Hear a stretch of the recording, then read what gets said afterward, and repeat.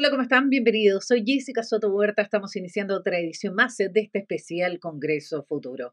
Ciencia, tecnología, humanidades, arte e innovación. Todos en un mismo lugar en Congreso Futuro desde el año 2011 hasta la fecha. Este encuentro que nació en la Comisión de Desafíos del Futuro en el año 2011, una instancia presidida por el senador Guido Girardi, integrada por los legisladores Carolina Goich, Francisco Chaguán, Alfonso Durresti y Juan Antonio Colome, que cuenta con el respaldo de científicos nacionales e internacionales, de la Academia Chilena de Ciencias y de diversos sectores sociales, políticos de nuestro país. Les recuerdo que este programa está siendo transmitido en las plataformas de diversas municipalidades chilenas a través de Congreso Futuro en tu Comuna en línea. Todo eso gracias a la alianza entre el Senado y la Asociación Chilena de Municipalidades en este compromiso de acercar la ciencia y el conocimiento de manera gratuita a toda la ciudadanía. Comenzamos entonces la edición de este especial Congreso Futuro que trae una entrevista vinculada a los datos. Comenzamos. Iniciamos este especial Congreso Futuro con un invitado espectacular, un experto maravilloso que ha sido, pero uno de los grandes colaboradores eh, de la Comisión de Desafíos eh, del Futuro del Senado, pero además ha participado en Congreso Futuro en el año 2019. Me refiero a Juan Velázquez. Él es doctor en Ingeniería de la Información de la Universidad de Tokio, ingeniero civil electricista, pero además ingeniero civil en computación. Es profesor titular de la Universidad de Chile, adscrito al Departamento de Ingeniería Industrial y también investigador del Instituto de Sistemas Complejos de Ingeniería. Juan, ¿cómo estás tú? Hola, hola, ¿qué tal Jessica? ¿Cómo te va? Muy bien, tanto tiempo que no nos veíamos. Bastante tiempo, pues. bueno, la pandemia nos tiene a todos aislados socialmente, pero no deberíamos estar tan aislados si tenemos la, tecnología, ¿no? Juanito, ¿cómo ha sido para ti este periodo de pandemia? ¿Cómo lo has vivido tú? ¿Qué, qué, qué experiencia has sacado de ella? Bueno, fíjate que para mí esta pandemia eh, ha acelerado muchas cosas que realmente eh, yo no tenía prevista hacerlas eh, anteriormente, como por ejemplo, no sé, pues, eh, plantearme una nueva infraestructura tecnológica para mi casa, necesitaba más conectividad, ¿de acuerdo? Y eso no lo tenía eh, presupuestado por ninguna parte, eh, hacer arreglos, reparaciones varias, para hacerlo un poquito más cómodo, porque fíjate que estar encerrado, literalmente, al menos a mí me pone mal. Te fijas, aunque acá tengo una terracita muy, muy rica, mi, departamento tiene esa característica, y la pasamos bastante bien con mi hijo, que mm, nos gusta los dos cocinar, entonces tener un poco más de espacio nos ha ayudado para, de alguna manera, sobrellevar esta contingencia. Ahora, como me gusta hacer deporte, la verdad las cosas que ha sido complejo, eh, el no poder salir a trotar, por ejemplo, eso me tenía mal, ¿ya? Y, pero mira, mirando las cosas bien en perspectiva, yo creo que uno paga un precio muy, muy pequeño comparado con otra gente que realmente la ha pasado muy mal. Eh, yo pienso mucho, por ejemplo, en los adultos mayores, mis papás, 39, 83 años, que la tecnología no, no, les pudo ayudar mucho, ¿te fijas? Entonces la tecnología aquí eh, se nos vino encima y debiésemos empezar a pensar cómo la podemos utilizar para el servicio justamente de las personas. Y en términos personales, ¿cuál es la experiencia que te llevas tú? Esa palabra que uno dice, no, en realidad yo me conocí a mí mismo, yo en realidad no me desesperé demasiado o voy a generar un cambio que tenía pendiente ahí, que me di cuenta ahora. Mira, esencialmente, ¿qué es lo que me di cuenta de todo esto? Em, yo no sé, pero personalmente, al, tal vez venir de un área muy tecnologizada, como que el contacto humano no, no lo había valorado tanto como ahora. Entonces ese contacto humano de, de, poder estar con las personas trabajando, poderlas ver, de poder, no sé, pues darle la mano a alguien, abrazar a alguien, ahora tiene otro significado. ¿ya? Mira, te puedo contar como una anécdota. O sea, yo siempre eh, eh, compro cosas a través de los sistemas tecnológicos, ¿no? O sea, no sé, porque que, me vengan a dejar las cosas a la casa. Y durante la pandemia ocurrió que eh, Correos de Chile tuvo muchos problemas para entregar cosas, ¿te fijas? Entonces me llegaba WhatsApp o que si un mensaje, un mensaje diciendo, mire, sabe que venga a buscarlo acá a la oficina de correo, que eso antes me molestaba mucho, porque yo compraba el, el, producto que llegara a la casa. Bueno, no, en ese caso yo iba con mucha alegría a buscar el producto a la oficina de correo porque era mi, mi salida. ¿Y por qué ibas a ver gente? ¿Ibas a ver directamente? Entonces sacaba mi salvoconducto para ir a buscar mi producto y me, me, lo iba caminando, o sea, imagínate, me, caminaba 20 cuadras, por el solo hecho de poder ir y ver gente, ver personas. Entonces, creo que esta cuestión me, me produce un cambio bien, bien notorio en, en, esa percepción que antes, no sé, pues era tan, tan normal. Juan, tú eres experto en datos, estuviste con nosotros en Congreso Futuro con la exposición Minando Cordillera de Datos. En este periodo en el que el mundo estuvo confinado, estuvo encerrado, se exacerbó el uso de la tecnología y los datos empezaron a volar, pero uy, ya, ya explorar por toda la área humana que puede existir. Tú en Congreso Futuro hablaste que cada 15 minutos nosotros generábamos una torre como el Costanera Center en datos. ¿Eso cambió? Bueno, indudablemente se exacerbó el uso de las tecnologías eh, y evidentemente aumentó la cantidad de datos que se están moviendo a través de las redes. Ahora, no te imagines que vamos a tener dos torres por 15, cada 15 minutos, pero sí aumentó la cantidad de datos. Porque, bueno, si, ustedes lo notan, eh, han habido muchos reclamos respecto a la conectividad.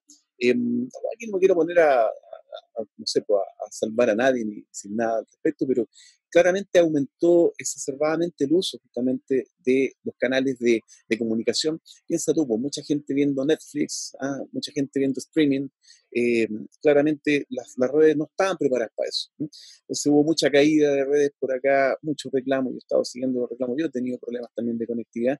Y, mm, Mira, la pandemia aceleró muchas cosas, Jessica, muchas cosas. Entonces, uno de esos fue justamente el uso de la tecnología. Ahora, terminando la pandemia, eh, ¿vamos a volver a lo mismo de atrás? Creo que no. Aquí hay una, ha habido una deconstrucción, no destrucción, deconstrucción. Las fichas se reordenaron para muchos negocios, para muchas fórmulas de, trabajo. Mira, a mí me da un gusto tremendo ir ahora a la feria y la, la casera que yo tengo, todos los caseros, yo ya no les pago en dinero ellos ya tienen su tarjetero electrónico, su eh, monedero digital. Y el otro día, por ejemplo, ella, la, veo que está afanando ahí con su celular y todo lo demás. Y, veo y le digo, bueno, ¿qué está haciendo con ¿Qué está haciendo que está afanando tanto? No, es que me armé una hojita acá en el, en el Google no sé cuánto, en, el Drive, y entonces ahí voy colocando los gastos que yo tengo para ver. Me cambiaste el mundo, de, tal, de todas maneras, ese mundo, y eso no tiene vuelta. Eh, el otro día hablaba con amigos que tienen bufetes de abogados y me dicen, ¿sabes que no tiene sentido ahora tener eh, la oficina? ¿Para qué? Pues si todo lo estoy haciendo a través de videoconferencia y me sale mucho mejor. Obligatoriamente tuvimos que empezar a usar la tecnología y no quedarnos fuera porque si no nos desconectábamos. Ya estábamos desconectados del mundo, pero obviamente la tecnología era la que nos volvía a conectar con los seres queridos.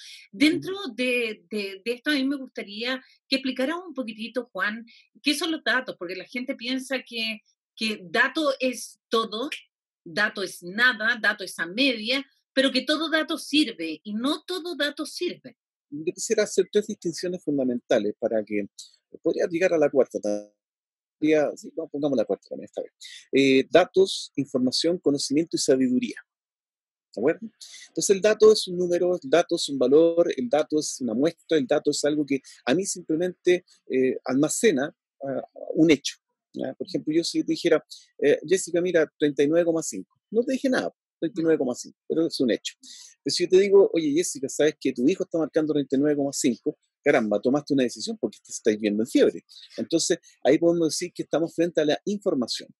¿De acuerdo? Porque a partir del dato yo saco información, un indicador que te hace tomar decisiones. O sea, la información es para tomar decisiones. ¿Y qué pasa a ser el conocimiento? Cuando soy capaz de minar o trabajar o procesar todos estos datos, puedo obtener, por ejemplo, patrones de alguna situación que está cumpliéndose. Y esos patrones pueden devengar también en que yo utilice o cree alguna regla, o sea, patrones y reglas de cómo usarlo eh, en base de alguna manera al conocimiento, de una manera súper simple. Entonces, eso tú, ¿qué podéis verlo? Te, de, de, distintas maneras la empresa, le llaman buenas prácticas. Pero si lo queremos ver, por ejemplo, estoy visitando Amazon y acabo de ver un libro que me gusta, hago el clic y de inmediato Amazon dice, mire, ¿sabe que Este libro que a usted le gusta, eh, también le gusta a tantas personas, pero también le agrego este otro.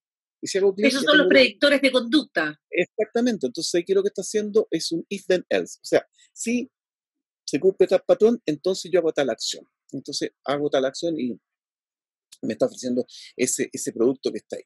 Bueno, entonces, ¿dónde empezamos con esta sabiduría? Bueno, ya se pasa a un colectivo mayor que lo obtenemos a través de muchos medios y, por ejemplo, diferentemente a través de las redes sociales. Bueno, como te decía, esto en mi terracita acá, en mi terraza tengo muchas plantas, tengo plantas, en realidad tengo, mira, tengo lechugas, tengo choclos, tengo fisal, tengo de todo, o sea, me, me paso cultivando acá.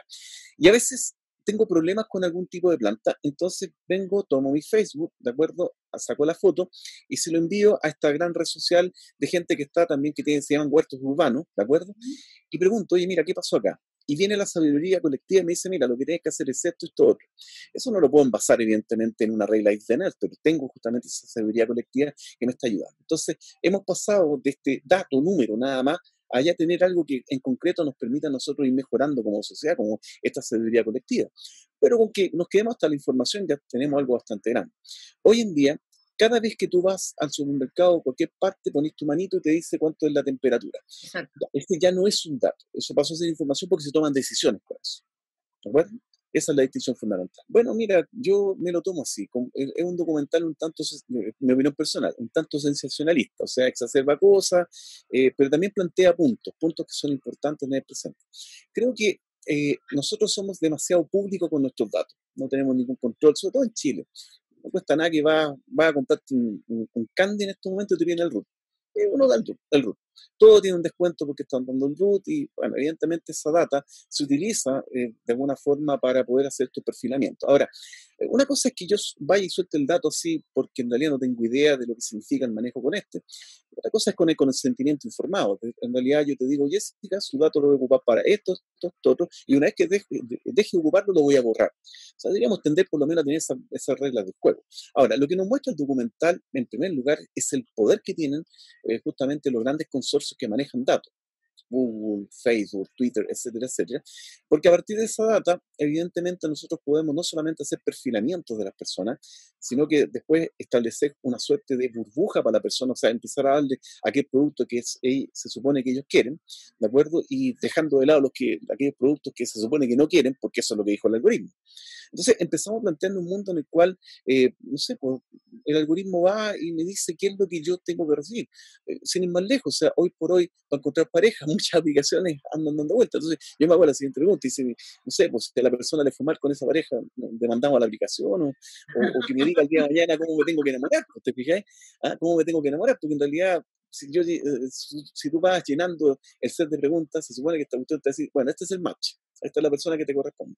Entonces, Pero esto, ¿sabes, ¿sabes, Juan? A mí lo que me llama la atención es, tal como decías tú, es decir, estos predictores de conducta, eh, qué es lo que te gusta, cómo manejar los datos, tus preferencias, pero también limita a que hay cosas que yo no te voy a mostrar porque no te gustan, pero son parte también del mundo de lo que tú deberías conocer, ¿o no?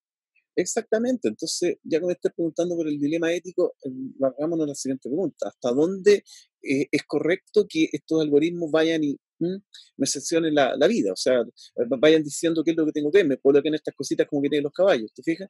Para no irse para los lados. Eh, ¿Hasta dónde es correcto eh, procesar estos datos para poder obtener información valiosa para, para justamente tomar estas decisiones? Entonces, y, y también hay que entender una cosa, o sea, cuando nadie me obligó a meterme a Facebook, ni a Twitter, ni a ninguna red social. Y ahí viene justamente el, el contrato que uno firma que prácticamente, eh, sucintamente dice, mira, a partir de ahora todos los datos que usted entrega son míos y hago lo que quiera. Y uno dice, yes. yes, yes, yes. Entonces, y después vienen y cambian las políticas de, de, privacidad y uno dice, yes, porque si no, no sigue usando la red. Entonces, creo que falta mucho, mucha discusión al respecto de eso, porque si tú te pones, a ver, muy restrictiva con los datos, la verdad es que no hay ningún proceso que podamos hacer para mejorar, eh, qué sé yo, la, eh, el, trabajo con las personas. O sea, si nos ponemos en este, en este seno, no, no podría ser un waste. Y, y en, la calle, no, no va a saber dónde estar parado. Y si nos ponemos muy abiertos, bueno, dejamos que la maquinaria nos pase por encima. Entonces tiene que haber un, un trade-off, tiene que haber una discusión respecto de eso, y tiene que haber, que si yo, eh, no sé si la palabra es un control, Jessica, respecto de cómo se trabajan los datos, pero por lo menos, no sé, yo me sentiría más tranquilo cuando tenga ese presente. O sea, ¿qué es lo que está pasando? O sea, empoderar a la ciudadanía con respecto a lo que significa el tratamiento de los datos, ¿ya? Porque este, este mundo que ya tenemos es un mundo de datos y el mundo que viene es un mundo de datos, ¿de acuerdo? Es decir, educar a la ciudadanía con respecto a los datos. Los datos no solamente sirven para las redes sociales. ¿Dónde ves tú eh, el potencial que viene en dos años, en tres años, en términos de datos, pero en nuestro diario vivir? A ver, en un mundo interconectado como el que tenemos y donde, producto de la pandemia, la verdad es que nos conectamos más todavía, todo lo que tenga que ver con los datos que coleccionemos del entorno, de nosotros mismos, de las decisiones que se están tomando, van a repercutir en que probablemente nosotros podamos tomar más y mejores decisiones. ¿De acuerdo? Entonces, eh, en ese sentido, eh, del correcto uso de los datos, vamos a tener una sociedad que, podemos, que, le puede, que puede explotar mucho mejor ¿ah? Todas las cosas positivas que tengan los datos. Por ejemplo, a ver, necesito en estos momentos ir a comprar algunas cosas, ¿de acuerdo? Lo que tú queráis, necesito la ferretería para comprar una serie de cuestiones. Entonces, eh, la verdad de la situación es que en vez de ir a darme vuelta por toda la ferretería, lo que yo quisiera tener es colocar todo lo que necesito y me digan cuál es la ferretería que contiene lo que yo estoy buscando. Pero para eso yo tengo que compartir los datos y la ferretería también tiene que compartir los datos. En un mundo interconectado, en esa ciudad inteligente, podríamos mejorar, qué sé yo, las rutas más óptimas, podríamos no perder tanto tiempo para ir a buscar las cosas. O sea, es que no voy a comprar nada, que me lo vengan a dejar acá a la casa. Y, por, y, más todavía, ¿qué te parecería un mundo en el cual eh, la verdad es que yo selecciono lo que quiero? No sé, pues quiero una corbata, quiero una camisa, esto, y va a venir un carrito que te la viene a dejar a tu casa y en, el, fondo el molde te lo traje a la casa. ¿De acuerdo? Para allá va la historia. Fíjate que no, no, estoy exagerando. O sea, eh, ¿qué nos está mostrando, que, eh, digamos, este tema de los datos? Hoy, si tú te vas a cualquier mall, a cualquier gran tienda, vas a ver que hay una tienda dentro de la tienda que está más oscurita, que es el delivery y está representando prácticamente una parte importante del negocio. ¿ya? Pero para que ese delivery sea posible, necesito que me den los datos y yo necesito también darme el dato los datos. O sea, un manejo correcto de la data puede generar cosas muy positivas. Por el otro lado, un manejo incorrecto de la data, bueno, puedo saber todo tu comportamiento, Jessica, y el día de mañana eh, te digo, ¿sabes qué más? Llegó el momento que aquí tenía un bono para la peluquería. ¿Por qué? Porque ya sé que Jessica cada cierto tiempo va a la peluquería, la, la tengo totalmente cubierta, ¿te fijas? Y eso tampoco... Cuando vas al supermercado y, día y tú das el root, pasa toda tu cuenta a un sistema de datos. Eh, vas la segunda vez y te hacen los descuentos te ofrecen descuento en todo lo que compraste la vez anterior. Y me imagino que ese cruce de datos en algún minuto va a tener un cruce con las clínicas, con la farmacia y ver si acaso efectivamente tú te cuidas o no te cuidas, cómo es tu alimentación y cuál es la proyección también en términos de salud. Te lo expando un poco el concepto. Mira, hoy en día se está hablando, ya que está tocando el tema médico, de la medicina 4P. ¿no es cierto? Una medicina eh, que tiene que ser eh, predictiva, participativa, ¿no es cierto? Eh, personalizada. ¿Ya? Y evidentemente eh, eh, que nosotros podíamos hacer algo así como prospecciones de ella.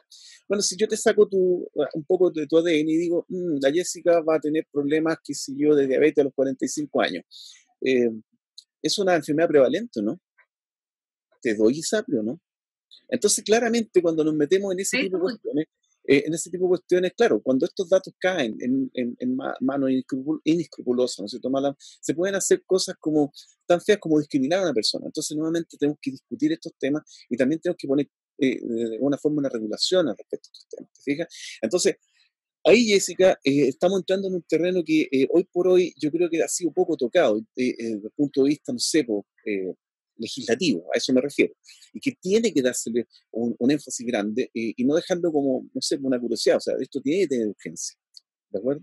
A mí me gustaría llevarte a, otra área que está muy vinculada a la tuya. Tú participas constantemente de la Comisión Desafíos del Futuro, eres un colaborador constante con una proyección acerca de datos, de inteligencia artificial y participaste en la mesa de trabajo de la Comisión Desafíos del Futuro referida a este tema, que presentó una propuesta, algunos lineamientos con respecto a inteligencia artificial y se lo presentaron al Ejecutivo. ¿Qué te pareció esta participación? ¿Estás en este momento trabajando con el Ejecutivo también en esta materia? Mira, a ver, lo primero, yo valoro mucho, rescato la, eh, toda la predisposición que tiene la Comisión de Desafío Futuro, sobre todo, bueno, como dice su nombre, pensando en lo que viene.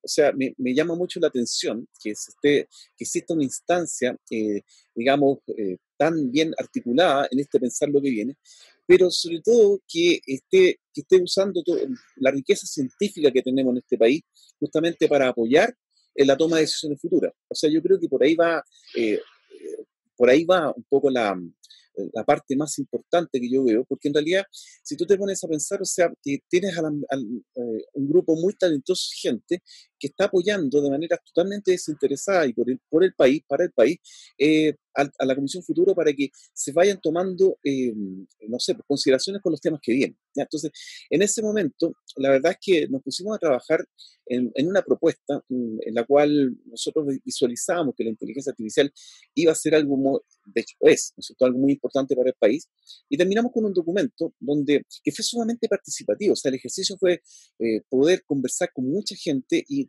no sé, pues crear un documento que recogió muchas eh, experiencias, muchas ideas, eh, qué sé yo, muchos anhelos, muchos temores. Que, de distintos sectores, por si acaso, distintos sectores, distinta expertise, distintas visiones. Entonces, y que el, Ejecutivo, pues, eh, bueno, el presidente de la República lo recibió muy bien, y se crea esta comisión presidencial justamente que va a estar abocada a la creación de una estrategia para el país, ¿no estrategia nacional de inteligencia artificial, en la cual, bueno, me, invitan también ¿no a participar y hemos estado trabajando eh, con un equipo bastante multidisciplinario eh, durante, no sé, casi un año ya, hemos estado trabajando, y la idea es que Chile va a tener, va a contar con una estrategia de inteligencia artificial que va a tener por lo menos los grandes temas para que se toquen. Y esto es un desarrollo para, no sé, por los próximos 20 años. ¿De acuerdo? ¿Cuál es tu visión con respecto a la inteligencia artificial en Chile y hacia dónde apuntamos ahora? Mira, en estos momentos yo creo que eh, tenemos una base bastante sólida desde el punto de vista científico-tecnológico. Entonces, con los énfasis correctos, esta base se va a desarrollar, qué sé yo, eh, rápidamente y con los, eh, o, lentamente, va a depender de dónde pongamos justamente esa ficha. Eh, creo que hay mucho por hacer desde el punto de vista de inteligencia artificial en varios ámbitos, pero si tuviera que priorizar, Hay, hay, temas acá que hay que tocarlos fuertemente, el tema salud, utilizando inteligencia artificial, lo que va a ser la educación de cara a las nuevas herramientas, ¿ya? Y por supuesto lo que es el empleo, ¿ah? lo que es el empleo, ¿no es cierto? Juan, ¿Cuál es tu futuro posible? Aquel que pensaste que iba a ocurrir en 100 años, en 50 años más, pero está a la vuelta de la esquina. Mira, yo pensaba que en un futuro no lejano nosotros íbamos a estar eh, totalmente interconectados en el punto de que la verdad es que día a día íbamos a tener menos contacto con otras personas. En el futuro va a 50 años más. Eso se me viene encima ahora. Entonces, eh, por ejemplo, ahora me está dando hambre. Eh, ¿Me voy a comprar algo o pido al, rápido ahí o al, pedido ya o el que sea que me lo traiga acá. Y me lo deje abajo, porque no quiero ver a nadie. Entonces, entonces e, eso se aceleró, eso se aceleró tremendamente.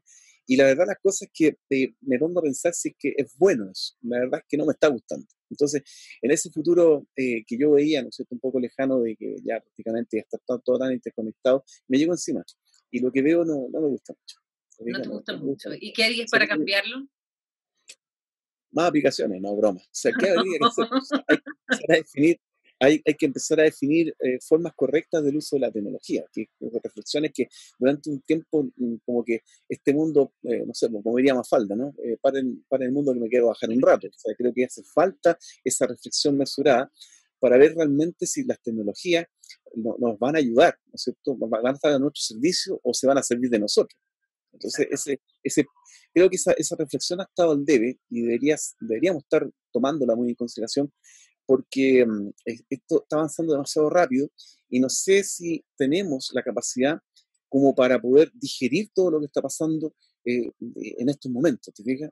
O sea, eh, las decisiones tomadas apresuradamente nunca son buenas decisiones. Y eso creo que nos está pasando.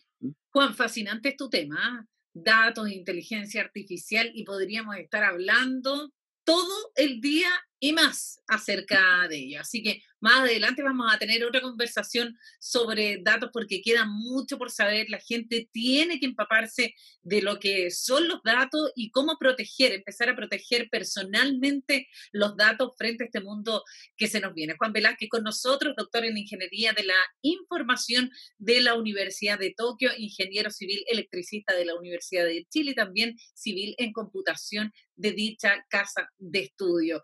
Vamos, eh, después eh, de la pausa que vamos a hacer después de esta entrevista, vamos a revisar la exposición que ofreciste en Congreso Futuro 2019, Minando Cordillera de Datos. Fascinante, ahí vas a explicar más o menos cuáles son los teras, la cantidad de datos y cómo nosotros generamos datos y qué se hace con ello. Muchas gracias, Juan, por haber estado con nosotros. Bueno, gracias, Jessica, que estén súper bien. Tú también. De vuelta de esta pausa, volvemos con Juan Velázquez y su exposición en Congreso Futuro 2019.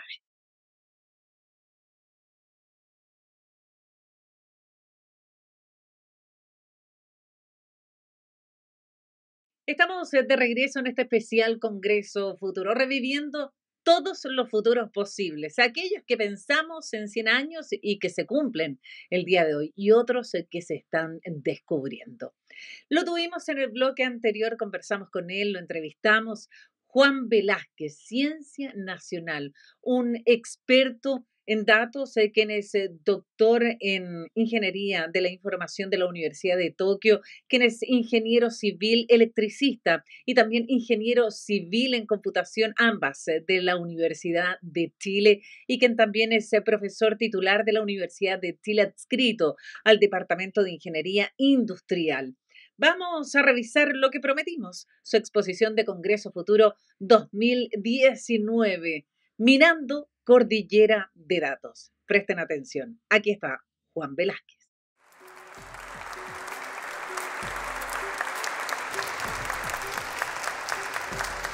Buenas tardes. ¿Se escucha bien? Espero que sí. Bueno, ya los colegas han estado hablando bastante respecto de la transformación que viene con los datos. Yo quisiera hablar un poquito de qué podemos sacar de los datos. Para partir, algunas pocas definiciones. Siempre estamos buscando a partir de los datos información. Información es aquello que nos permite a nosotros tomar decisiones. Por ejemplo, si yo les digo a ustedes 39,5, eso no nos dice nada. Y si yo les digo el niño tiene 39,5 grados de fiebre, eso nos hace tomar una decisión. Hay que ir rápidamente al médico porque el niño se nos puede morir. ¿Y qué es el conocimiento? Bueno, son patrones que nosotros logramos sacar a partir de los datos que con las reglas adecuadas nos permiten a nosotros entregar algo así como recomendaciones. Y para hacer el ejemplo un poquito más didáctico, les quiero mostrar una situación, ¿no es cierto?, de por qué que, muestra, muestra bastante eh, de forma realista por qué nos interesan tanto los datos. Eh, Target es una empresa norteamericana que, es del ámbito del retail, se dedica a vender cosas, ¿no es cierto?, a través del retail, y lo que quiere encontrar es cuáles son, de, alguna manera, eh, poder ver qué es lo que quieren los clientes en el futuro, de tal manera de poder preparar la oferta correcta y hacer la difusión correcta.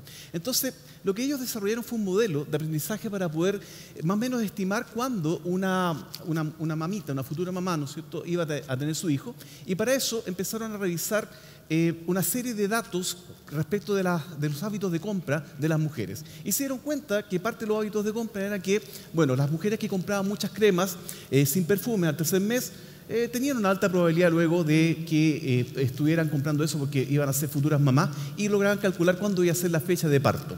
Entonces ahí comenzaba el proceso de difusión, empezaban a mandarle correos electrónicos, empezaban a mandarle publicidad por, digamos, por el correo convencional, etcétera, etcétera.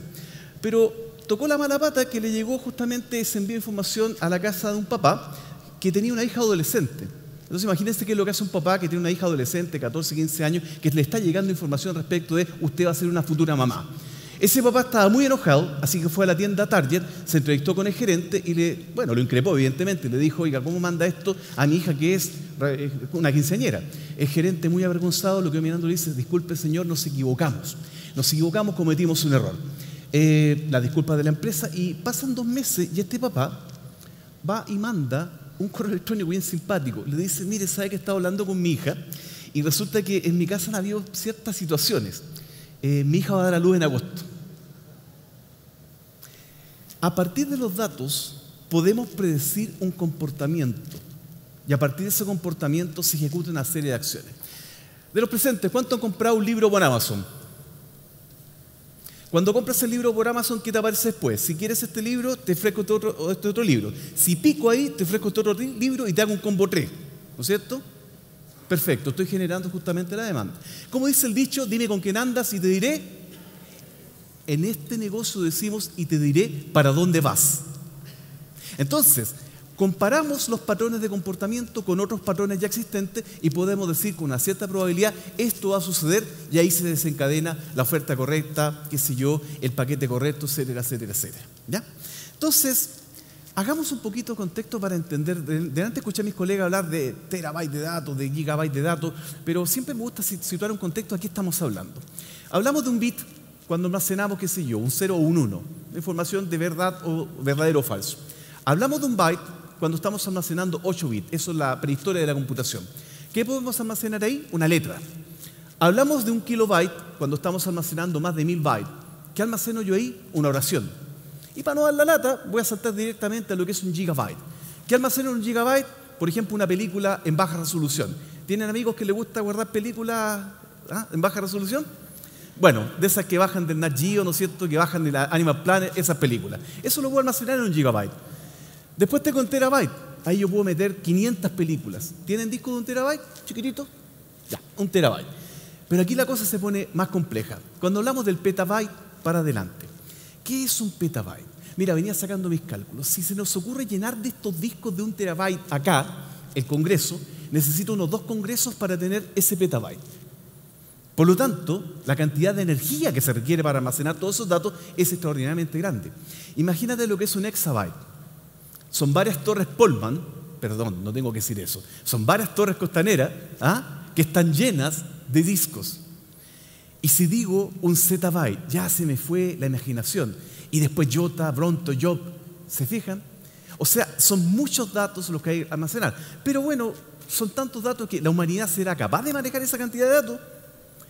Mira, si empezamos a analizar, delante estaba escuchando una charla bien interesante sobre medicina personalizada, bueno, la medicina del futuro, si nos ponemos a analizar cómo son los datos médicos, tú en estos momentos vas al médico, te toman un examen y ese examen queda almacenado, eh, qué sé yo, ahí de la base de datos del hospital o la clínica donde fuiste, tú te fuiste después a otro lado de Chile, te hacen otro examen y esto quedó en un lado y quedó en el otro. En un futuro no lejano, Después de la interconectividad que plantean algunos, bueno, la idea es que si estás en Punta Arenas y tú te has atendido toda la vida en Arica, esos datos tuyos puedan viajar a Punta Arenas y sepamos qué es la afección que tienes tú basado en lo que te ha pasado, ¿no es cierto?, en tu historia. Pues bien, los datos que tenemos acá son genómicos, el genoma, ¿no es cierto?, es bastante grande, procesarlo son muchos datos. Historia, tu historia clínica, que ha estado, ¿no es cierto?, durante toda tu vida, y también cómo te ha afectado el medio ambiente. Esos son muchos datos. La medicina del futuro plantea que yo quiero darle el tratamiento correcto, la píldora correcta al paciente correcto. No estar disparando a la bandada como sería ahora que a todos le damos la misma píldora, ¿de acuerdo? O el mismo tratamiento. Bueno, esos son muchos datos a procesar y algunos de ellos van a ser en tiempo real. Imagínate personas que tienen afecciones cardíacas. Las personas que tienen afecciones cardíacas, antes de que venga ese paro cardíaco, no sé, minutos antes, ya se puede saber que viene justamente el síntoma.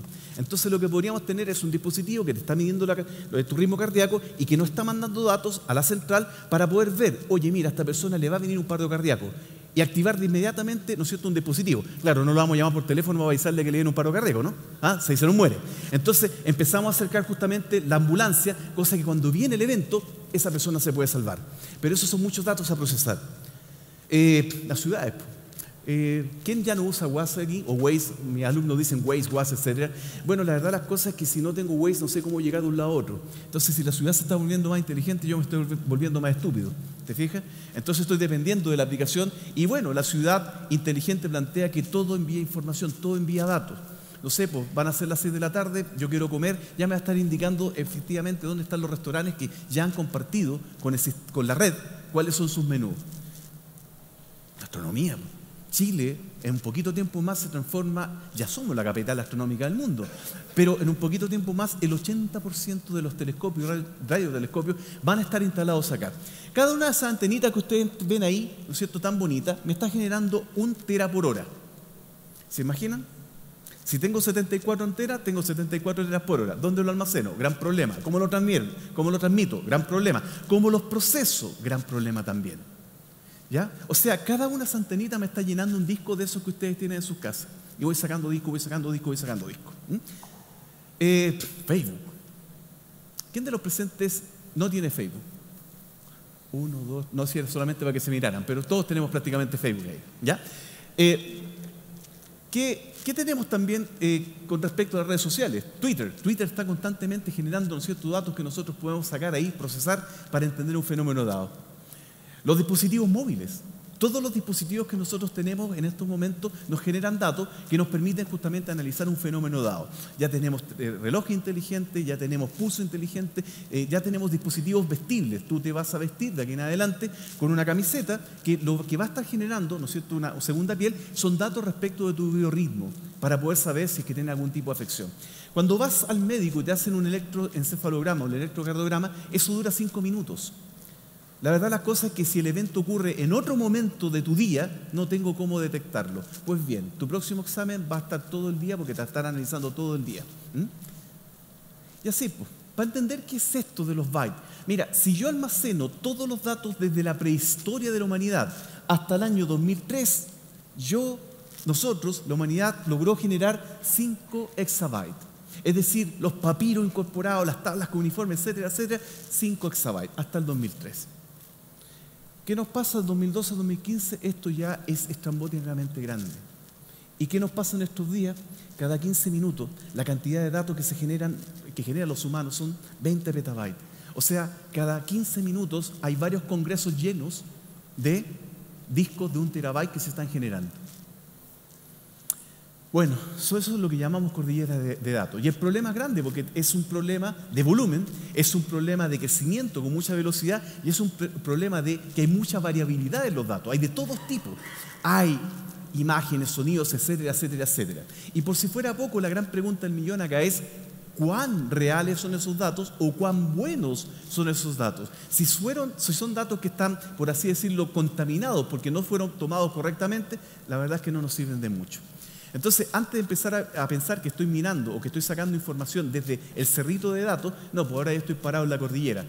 No todos los datos, por eso de repente yo, discutía el tema este de si, digamos, el, nuevo petróleo, no todos los datos contienen ese petróleo. De la misma manera como es como que yo dijera, oye, mira, probablemente en la cordillera de los Andes hay oro, pero empiezo a meter mi sonda y hay sectores donde simplemente no hay oro. No siempre voy a encontrar información valiosa a partir de los datos un pequeño ejemplo de cómo podemos utilizar esto y me van a perdonar que sea un poco autorreferente, pero prefiero hablar de los ejemplos, que, las medidas de pata que hemos cometido nosotros, a empezar a hablar de las otras medidas de pata. Entonces, este es un trabajito que nosotros estamos haciendo con eh, mi colega Carlos Ibaña, ya de la clínica la clínica psiquiátrica de la Universidad de Chile y con uno de los ingenieros ahí que es Víctor Cortés, que se nos ocurrió analizar el Twitter para ver si podíamos tener un proyector sobre la prevalencia en droga. Cada dos años el SENDA, el Servicio de Drogas que tenemos acá en Chile, hace una encuesta donde ve cómo está la situación de droga en nuestro país y bueno, a nosotros se nos ocurrió ver si podíamos sacar información valiosa a partir del Twitter. ¿Y qué es lo que tenemos? Bueno, eh, nosotros nos gusta compararnos con el mundo y somos buenos para poder eh, hacer algún tipo de análisis. Bueno, somos buenos en el consumo de alcohol. Parece que eso, no sé si será tan verdad o mentira, pero somos buenos en el consumo de alcohol, ¿no? Y también somos buenos con el consumo, ¿no es cierto?, de lo que es la marihuana. Bueno, ¿Cuál es el problema que tenemos con esto de estar haciendo análisis eh, o hacer una encuesta cada dos años? Bueno, tienen que pasar dos años para procesar la encuesta y para poder seguir trabajando. Entonces nuestra idea era, ¿qué tal si podemos caracterizar el fenómeno a partir del Twitter y sacar información valiosa a partir del Twitter? Entonces, lo que dijimos fue, mira, agreguemos más cosas. No solamente el Twitter tiene información, sino también tiene el Instagram. ¿Los presentes usan Instagram? Háganme así cuando sea así, así cuando es no, y ahí estamos todos ok. Ya, pues entonces usamos Instagram, entonces vamos generando también datos respecto de esa red social. Bueno, eh, me imagino que todo el mundo conocerá cómo eh, funciona el Twitter. Ahí está nuestro gatito, ah, que también está eh, interesado en la marihuana.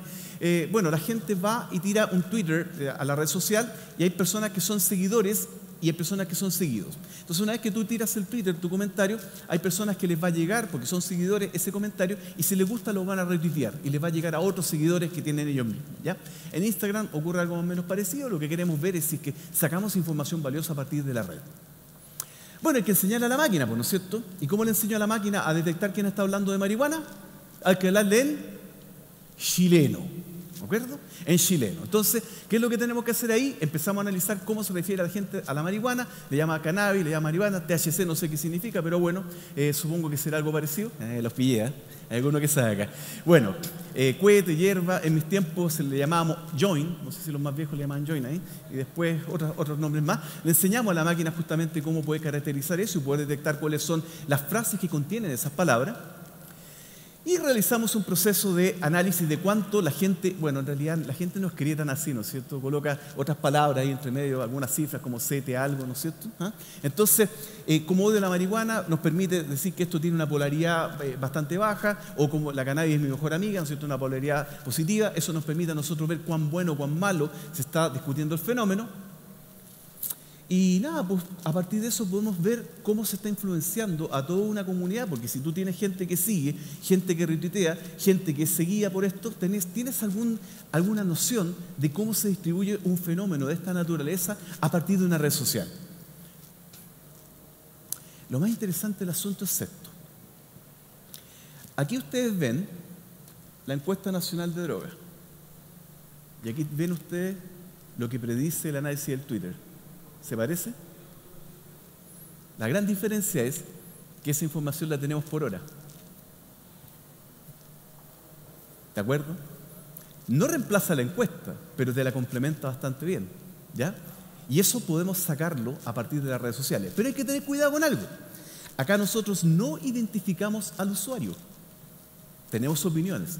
Porque si identificamos al usuario, estamos pasando a una parte que es un poquito oscura, en la cual yo me estoy pisando la privacidad de los usuarios. ¿De acuerdo? Entonces no nos estamos metiendo con el nombre del usuario, sino que estamos trabajando con lo que son los datos que se generan. ¿ya? Entonces, el Big Data, los datos, el procesamiento masivo de datos, tiene una parte muy buena. Yo siempre hablo en estos seminarios de el bueno, el malo y el feo. yo soy el feo. Bueno, aparte de eso. El punto es que el bueno tiene muchos beneficios. El malo es de malo. Y el feo, créanme que es muy feo. Y por eso mismo hay que tener ciertos cuidados cuando estamos haciendo todo el procesamiento de los datos. Y del Instagram. Claro, del Instagram también sacamos información y ya mi colega le habló de lo que era el deep learning, y todo el mundo está hablando del deep learning hoy en día, y hacemos que eh, la máquina empiece ¿no cierto? a clasificar. Pero a veces la máquina se equivoca, ¿te fijáis? Esa cannabis que está ahí o esa cerveza que está acá eh, lo confundió con una malla de limones, ¿de acuerdo? Entonces se equivoca también y eso es una mala clasificación eh, que de alguna manera nos no incide dentro de los modelos, que hay que calibrar. ¿ya? Em, ¿Qué es lo que tenemos entonces? Podemos estar monitoreando en estos momentos una red social y yo le hago la siguiente pregunta a ustedes. ¿Sería importante para una empresa, organización o lo que sea saber qué opina la gente respecto a un producto, servicio o respecto a alguna política o respecto de lo que sea? Creo que la respuesta es obvia. Sí, es importante. Alternativa número uno, encuesta. ¿Le gusta la encuesta? Es que le vamos a hacer una encuesta cuando termine. No, no hay encuesta. Alternativa número dos, tal vez podemos sacar información valiosa de las redes sociales. ¿De acuerdo? Algunos desafíos. ¿Cómo podemos almacenar estos datos? Estamos al borde de un cambio tecnológico brutal en el ámbito de, de, las tecnologías relacionadas con la informática. ¿Han escuchado ya ustedes hablar de computación cuántica, los nuevos computadores, los nuevos discos duros? Evidentemente, el día de mañana tú vas a andar con un dispositivo que es, ¿no es cierto?, como un pendrive como este que yo tengo acá, que en estos momentos este pendrive es de 8 GB. 8 GB, yo almaceno aquí un par de películas en baja resolución. Pero ¿qué pasaría si andas con uno de un petabyte? O sea, dos veces este congreso lleno de discos de un tera. Bueno, lo vas a andar trayendo acá. ¿Te imaginas si se te llega a perder ese disco? Ahí sí que se pierde mucha, mucha data, ¿no es cierto? Mucha información. Entonces, ¿cómo podemos procesar esa cantidad de datos? Caramba, las máquinas, evidentemente, aunque ah, tengamos máquinas que son capaces de procesar miles y eh, tremendos volúmenes de datos, estamos quedando cortos. Entonces ahí se mete la computación paralela a ayudar un poco. ¿Qué pasa con el formato de los datos? ¿Se acuerdan de los presentes? Bueno, hay mucha gente que es más o menos de mi época y un poquito más, ¿no? ¿Se acuerdan de los VHS? Yo tengo 24 VHS que ya no los traspasé, ¿no es cierto?, al CD-ROM y ya no los traspasé al Blu-ray y ahí se me quedaron. Por lo tanto, los formatos van variando, ¿te fijas? Entonces, hasta el momento lo único que conocemos en la humanidad que ha logrado sobrevivir 5.000 años son los papiros. Esto no sé cuánto llega a sobrevivir justamente estos dispositivos tecnológicos. ¿Qué pasa con la precisión justamente del dato? ¿Te fijaste? ¿Y qué eh, nosotros estamos creyendo que el dato está eh, eh, ha sido tomado correctamente. Y eso no necesariamente es verdad. ¿Ya?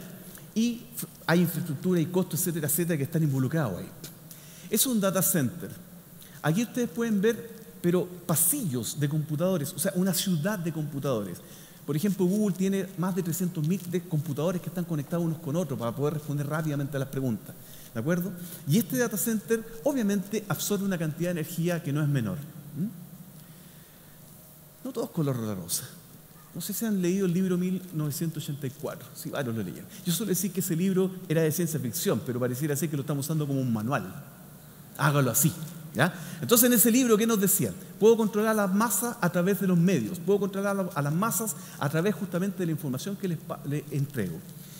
¿Se acuerdan del caso Cambridge Analytics? Usamos, la, usamos la información, usaron la información que había en Facebook, evidentemente para poder de alguna manera cambiar ciertos patrones de conducta de las personas que iban a ser votantes en más de algún país. Y eso es complicado. Entonces, a ratos uno siente como que hay un Big Brother que te está mirando acá, ¿no? Ah, que estamos procesando los datos y todo lo que está pasando, todas las transacciones. Eh, un ejemplo simple, eh, no sé, por el otro día el otro día fui a comprar un supermercado, un supermercado X, cuyo nombre me tengo que reservar, ¿ya? Entonces cuando voy saliendo, una señora de edad que estaba teniendo la caja me dice, eh, ¿me da su root? No, no quiero darle mi root. Ay, pero ¿para qué no quiere dar el root si en realidad ustedes todos somos súper públicos? Ya todo se sabe. Caramba, ya está internalizado que todo se sabe a partir del root. Bueno, justamente no quiero dar mi root porque no quiero que sepa más información, más datos respecto de mí. Estoy en todo mi derecho, ¿te fijáis? Pero evidentemente en nuestro país ahí la legislación es un poquito laxa, porque a partir de tu nombre aparece el RUT. Y hay información relacionada con respecto a eso. Entonces, la privacidad ahí se va perdiendo. ¿Te gustaría que el sistema informático constantemente te esté dando recomendaciones de qué comprar y tú dices, ok, perfecto?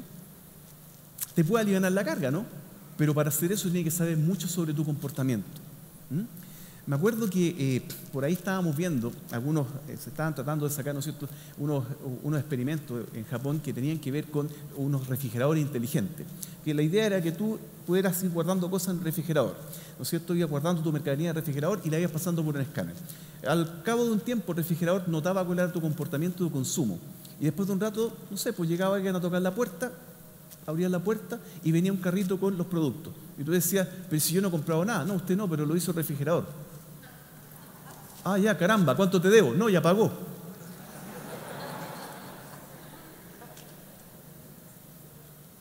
¿Te sentís cómodo con eso, no? Ya. Entonces ahí está la delgada línea roja, que cuando la cruzamos pasamos a la parte fea del asunto. Y la parte fea del asunto es que evidentemente todas estas tecnologías, inteligencia artificial y todo lo que venga entre medio tiene que salvaguardar los derechos más fundamentales de las personas, que es su privacidad. ¿ya? Entonces, Estamos inmersos en un mundo de datos. Generamos datos por doquier. Se habla que el dato es el nuevo petróleo. No siempre es el nuevo petróleo. Después ahí puedo sacar información y puedo sacar ¿no un conocimiento que me permita entender un fenómeno dado. Siempre y cuando esos datos contengan, estén relacionados con el fenómeno que yo quiero estudiar. Es así de simple. Lo que ustedes acaban de ver en el Twitter, que parece así como wow, ¿no es cierto? Podemos predecir ciertas cosas. Para otros ejemplos, la verdad es que nos va recontra mal. Se nos ocurrió la otra vez ver cómo andaba la predicción de una, ¿cómo se llama? De, una elección municipal y nuestro sistema decía que ganaba tal persona, ganaba tal persona, pero seguro que ganaba esa persona. Y cuando fueron las elecciones, no ganó esa persona, sino que ganó el contrincante. Y la razón fue que, bueno, que la gente que tuiteaba no fue a votar nomás. ¿Se fijan? Bueno, para hablar de comentarios ya finales, los datos, son el nuevo petróleo. En parte, yo te diría que los datos son una nueva cordillera que tenemos a la cual hay que aplicarle sondas para saber si hay ley que nos permita a nosotros sacar información valiosa. ¿De acuerdo? Em, tenemos ya la imagen de un mundo que está compartiendo todo y que va a seguir compartiendo y todo va a seguir creciendo con eso. La parte buena del asunto es tremendamente buena, porque podemos de alguna manera desarrollar más y más sistemas inteligentes que ayuden a las personas. Pero ojo, estos son sistemas para servir a la gente, no para servirse a la gente. ¿De acuerdo? Entonces, hay que salvaguardar pues, sobre todas las cosas lo que es la privacidad de los usuarios que están detrás. Eh, con un gran poder siempre viene una gran responsabilidad. ¿De acuerdo?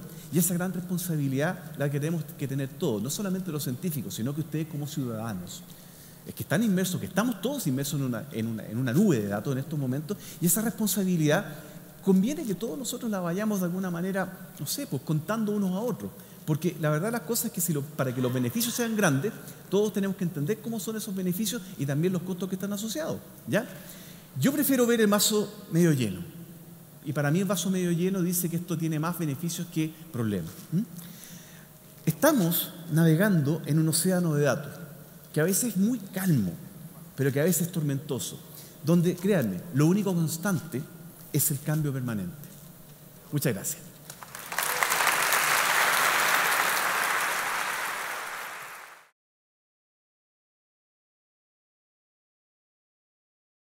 Es un placer para mí estar aquí en Chile y compartir esa aventura que es la ciencia con todos ustedes. Para mi charla lo voy a hablar en inglés, espero que funcione bien para todos, pero si tienen preguntas, por favor también, si quieren preguntar en español, ni problema. It is my pleasure to be here today and to actually share this adventure that is science with all of you.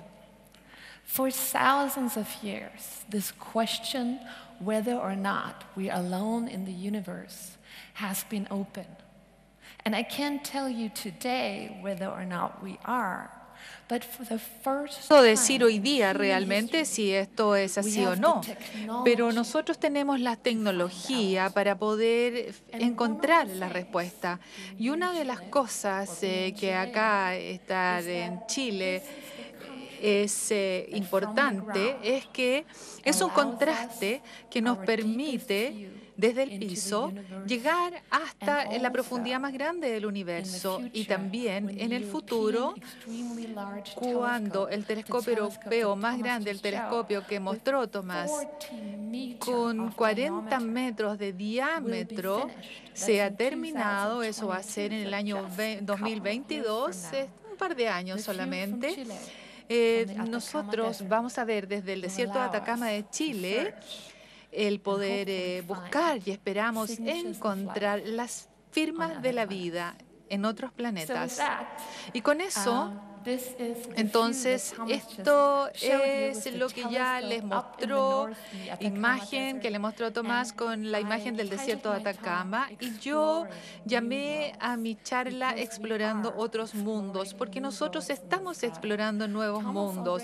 Tomás también les mostró algunas de las primeras imágenes, lo que nosotros tenemos en cuanto a fotos de otros planetas, eh, donde nosotros eh, tenemos una especie de máscara que bloquea a la luz de las estrellas brillantes y vemos los otros puntos alrededor, que son cuatro planetas, que son enormes, mucho más grandes que Júpiter, pero nosotros estamos practicando porque con eh, telescopios tan pequeños no es posible, con los grandes, cada vez más grandes, podemos recolectar más de esa luz y por lo tanto podemos encontrar planetas pequeños que hoy día no son tan brillantes porque no son tan grandes. Y esto es exactamente lo que nosotros estamos haciendo en investigación. Quiero darles un poco de idea respecto a cuál es nuestro lugar en el universo. Esta es nuestra galaxia. Y si ustedes van desde un lado al otro, van a ver también el Sol acá y si van de un lado de la galaxia al otro, van a ver cientos de miles de luces que se cruzan. Es enorme. La luz que viaja a la velocidad más rápida que conocemos hoy día demora cientos de miles de años de cruzar de un lado a otro. Así que si ustedes quieren observar una estrella en un lado de la galaxia, la luz que eh, cruza acá los lleva, digamos, a inferir del pasado. Todo lo que ustedes ven acá en el cielo, por favor, vayan en la noche y miren hacia arriba. No es solamente que cada una de esas estrellas son soles, sino que van a ver planetas también, que son otros mundos, pero estas estrellas, dependiendo de la distancia que tengan, nos van a dar entonces una visión respecto a la historia del universo. Mientras más lejos estén, entonces eh, más años luz requieren para poder eh, viajar y, poder verlas y realmente. Eso es lo que hacen los astrónomos, empiezan a mirar hacia el universo y ven cuál es el universo más joven que existe. Pero no vamos a hablar solamente hoy día, porque Mario creo que va a hablar del origen en el futuro, pero estamos hablando hablar del tamaño de una galaxia, estamos hablando de 100 años luz y por lo tanto la mayor parte de estos planetas que estamos hablando, estamos hablando de 2.000 planetas que ya hemos descubierto y miles de más que todavía quedan por descubrir porque están muy lejos y estamos en esta región tan pequeñita que se ve acá, donde hemos, estamos hablando de miles de años luz, por lo tanto hemos encontrado en este marco de tiempo esta cantidad pequeña de planetas, lo cual significa que no hemos explorado ni una fracción de lo que tiene la galaxia. Nuestra galaxia tiene millones de estrellas y nosotros ahora sabemos de los resultados de Kepler, que Mario va a hablar un poco más allá, que cada segunda estrella, si uno cuenta una, dos, tiene por lo menos un planeta. Y por lo tanto, ya que no podemos encontrar los más pequeños todavía, porque es muy difícil de observar, entonces solamente pueden ser las más grandes y son miles de millones de planetas que están en nuestra propia galaxia. La galaxia es una de las miles de millones de galaxias que existen en el universo.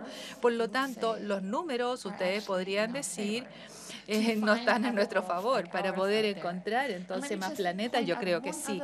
Pero si nosotros eh, señalamos acá, esto es. cómo se ve una galaxia, pero realmente nosotros no tenemos una foto de nuestra galaxia.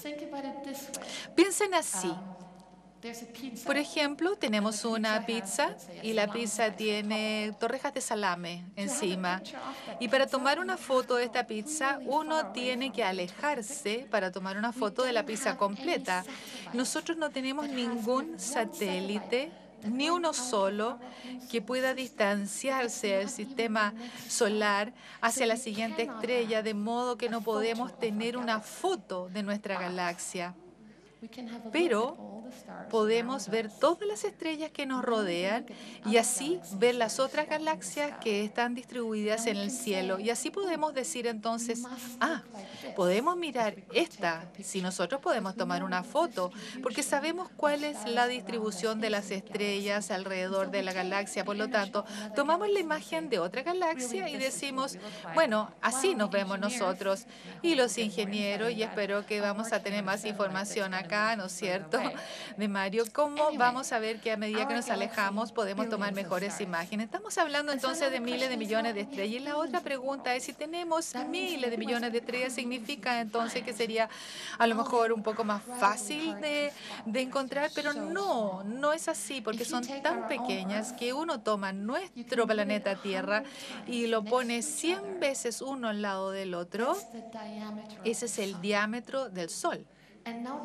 Y ahora, si tratamos de encontrar algo así tan pequeño, cercano a algo tan grande, pero la tecnología ha evolucionado. Por lo tanto, hoy día podemos la mayor parte del beso y eso es lo que enfatizó Thomas con sus imágenes tan maravillosas. No vemos los planetas porque la forma como nosotros encontramos es indirecta.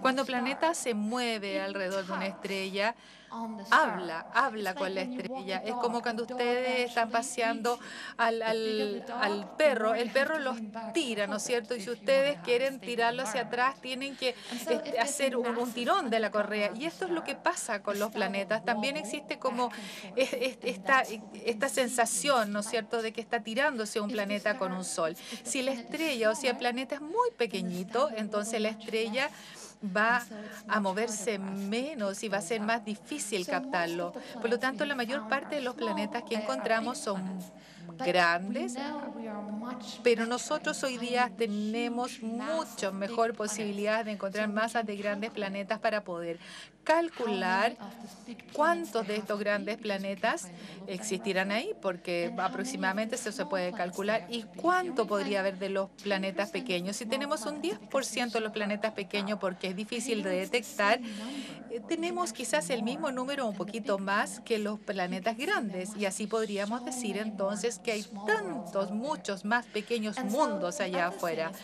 Lo otro es que cuando vemos acá, las estrellas se mueven hacia adelante y hacia atrás, pero sí, por casualidad, si este fuera un planeta, si el planeta fuera alrededor de nosotros, la estrella, y bloquea parte, por ejemplo, de mi rostro acá, entonces hay una luz que se va a bloquear de nuestra visión. Por lo tanto, pareciera ser temporalmente que hay un menor brillo y eso es lo que uno ve acá en, nuestra, en esta otra animación. La estrella es brillante, pero cuando pasa un planeta enfrente, lo que uno ve que pierde parte de este brillo porque la estrella es extremadamente caliente. Si uno puede ver parte de la superficie caliente, va a aparecer realmente que es solamente brillo.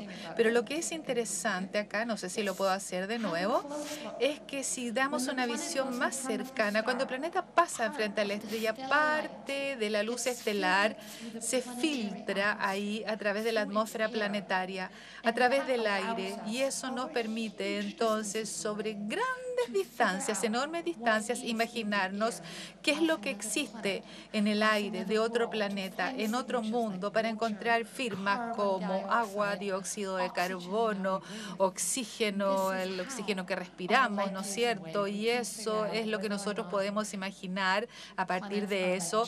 Sí, los planetas como Júpiter, ahora, por ejemplo, que son grandes planetas, pero en los próximos años, si ellos a lo mejor van a ser como la Tierra o no. Y esto es para que ustedes vean los datos. Si ustedes tienen el radio de un planeta que se define bloqueando la luz de la estrella, este es el número de planetas que tenemos acá en el eje Y. Y los detalles eh, son importantes, pero pueden ver en la parte del lado derecho los planetas grandes que podemos encontrar básicamente a todos. Pero el número es tan, tan pequeño acá que esto es tan pequeño como la Tierra, por lo tanto, a partir de eso sabemos que hay muchos, muchos, muchos más pequeños planetas allá. Para mí es fantástico porque realmente me encanta encontrar otro mundo y encontrar otras posibilidades de vida en otros lugares. Las distancias son enormes, ya se los dije, y las distancias son enormes y realmente la sensación que podemos tener de ello es como el Voyager 1 que se lanzó en el año 77, que es el único objeto tripulado por el hombre, el único satélite que alguna vez eh, pudo tener una imagen de nuestro sistema solar. Básicamente todos los otros objetos, digamos, no han sido posibles, pero tienen el récord de haber podido captar esta imagen, que nunca, nunca se pudo hacer algo similar. Y entonces la distancia son tan vastas que es imposible para otros objetos haberlo hecho posteriormente. Pero con esto lo que tenemos que hacer es mirar hacia atrás y es así entonces como Kosakan dijo en un, astrónomo muy importante, el más importante de todos, quizás fue la persona que creía que la ciencia era algo que era una combinación que conectaba la curiosidad, este rasgo humano tan importante que nos permite entonces salir desde una cueva y hoy día estar sentados en este salón fantástico hablando de la próxima frontera. Si nosotros ahora hacemos un modelo a escala y podemos ver cuáles las distancias tan vastas del universo, si tomamos todos los planetas del sistema solar y realmente los empezamos a comprimir al tamaño de una galleta, entonces la próxima estrella, el próximo sol, va a ser eh, a una distancia de dos canchas de fútbol. Y tomo este ejemplo porque acá yo sé que nosotros eh, el fútbol también es una de las cosas que observamos muchísimo aparte del cielo. Pero ¿cómo se ve todo esto si nosotros estamos hablando de nuestro sistema solar, si es tan pequeño como la Tierra, por ejemplo?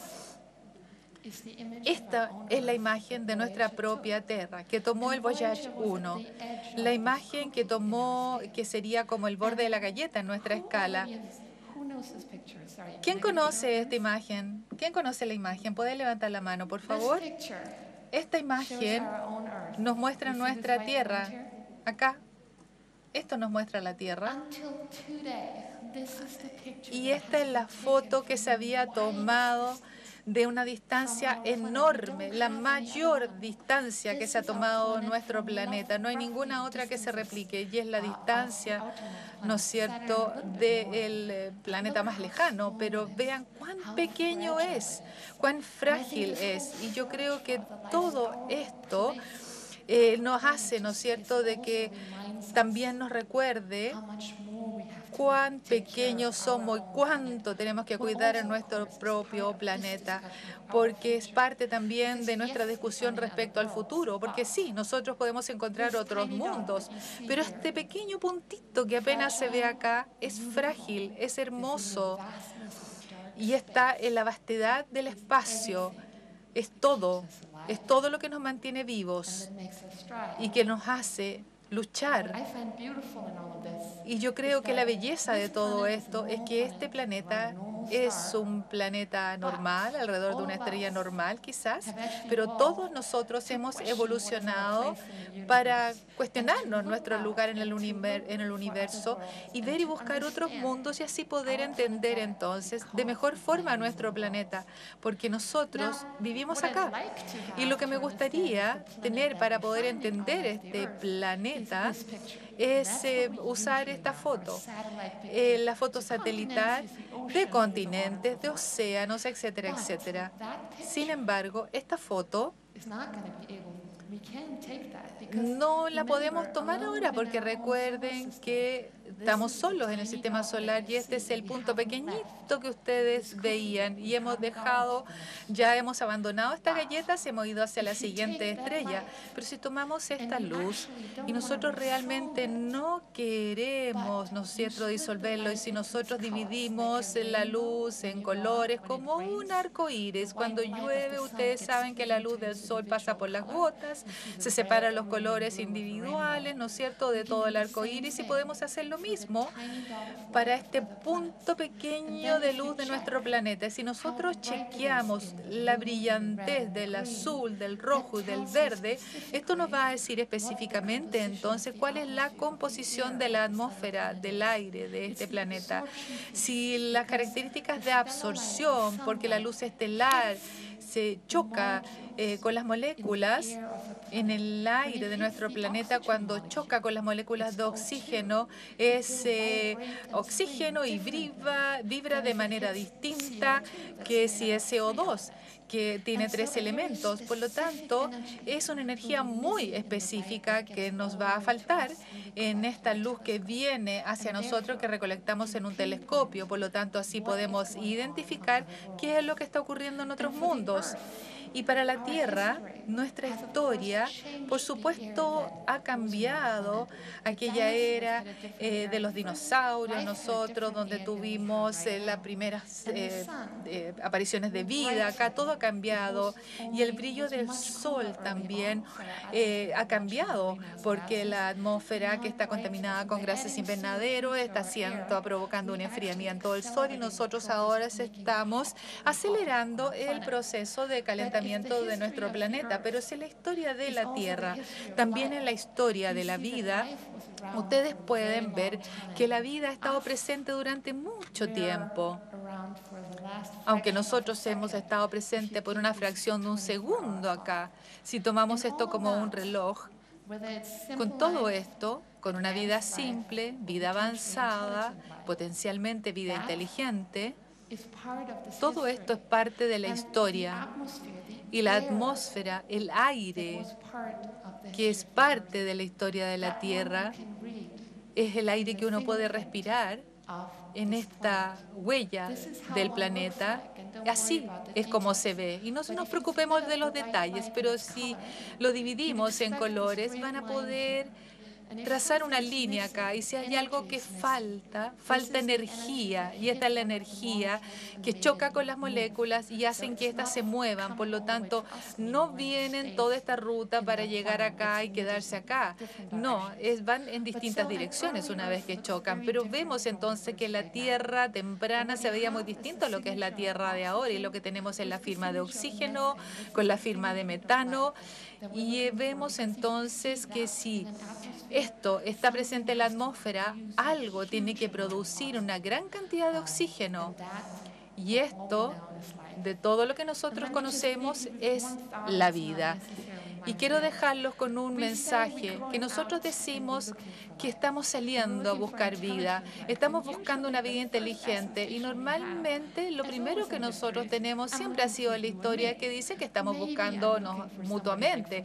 Quizás estoy encontrando, buscando a alguien que veo, no sé, en las películas, en las noticias. Ayer se anunció que se ha eh, descongelado hoy día este bichito acá y que estuvo congelado por 30 años, completamente congelado, que se encontró en eh, la Antártica, en una base japonesa, y los chilenos tienen exactamente lo mismo, y lo descongelaron después de 30 años, le dieron agua, eh, le dieron comida y entonces esperamos que se mueva, ¿no es cierto?, que ponga huevos y que empiece a crecer, a multiplicarse. Eso es lo que nosotros tenemos que hacer. La búsqueda de otro mundo tiene que acompañar eh, el, hecho de que no vivamos en ambientes extremos, porque vamos a cambiar los colores del planeta. Por lo tanto, un planeta no tiene que ser estos colores pálidos que nosotros vemos acá, sino que pueden ser distintos tipos de colores. Quiero terminar diciendo que nosotros ya hemos encontrado las distancias correctas, los tamaños correctos y que puede haber otra Tierra. El siguiente paso entonces en el cual estamos trabajando, estamos buscando los colores, estamos buscando las atmósferas para poder imaginarnos si pueden haber hábitats de cualquier forma de vida y si podemos entonces encontrar firmas de vida en esas atmósferas también. Nuestro planeta, que es este azuloso, tiene nuestra huella solamente la vida que nosotros tenemos ahora, pero los otros planetas que vemos acá en el horizonte pueden tener una forma de vida completamente distinta y que nos van a enseñar a lo mejor cómo funciona nuestra Tierra en primer lugar y esperamos tomar este conocimiento y entender a nuestro planeta de mejor forma y cuidarlo para que dure más, porque no tenemos los medios para ir hacia otro lado y especialmente con los telescopios que hay en Chile, vamos a tener la primera oportunidad de poder encontrar si realmente estamos solos en el universo. Muchas gracias. Vamos a encontrar vida en otros planetas y será muy distinta a la nuestra. Era lo que nos decía Lisa Kaltenegger en esta exposición de Congreso Futuro 2016, Nuevos Mundos en el Universo. Doctora en astrofísica, profesora de la Universidad de Cornell, quien además es fundadora y directora del Instituto Carl Sagan, que está dedicado a la búsqueda de planetas habitables. Entre sus logros no solo cuenta el haber inscrito un asteroide a su nombre, el 7734, Kaltenegger, sino que también junto a un grupo de científicos haber descubierto los primeros dos exoplanetas potencialmente habitables, el Kepler 62e y Kepler 62F. Junto a Lisa Kaltenegger y esta exposición de Congreso Futuro 2016. Despedimos este especial Congreso Futuro. Les recuerdo que estamos transmitiendo este programa en las distintas plataformas de diversas municipalidades de nuestro país a través de Congreso Futuro en tu comuna en línea, gracias a la alianza entre el Senado y la Asociación Chilena de Municipalidades. Por supuesto, los dejo invitados a que revisen esta y otras exposiciones en www.congresofuturo.cl. Soy Jessica Soto Huerta. Gracias por haberme acompañado y los dejo invitados a que nos juntemos en una próxima edición de este especial Congreso Futuro para revivir los futuros posibles. Nos vemos.